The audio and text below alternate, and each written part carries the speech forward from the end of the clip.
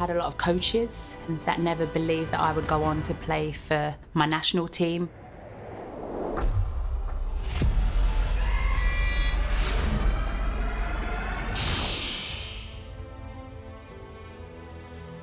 Actually, I wasn't one of those players that ever got nervous. I always remember that young girl that was playing in the cage in the East End of London. That being my escape and my dream. Remembering all the fun that I had playing football, believing yourself because there'll be a lot of people doubting you along the way. I had a lot of coaches um, that never believed that I would go on to play for my national team or be the sort of player that I went on and what I did to achieve in my career. But I don't know, I think I always believed in myself and I wanted to prove a lot of people wrong and I think that was my determination to keep going and not to give up. I think women's football, we're on the cusp of something really special. I think all of a sudden over the last couple of years, people get it.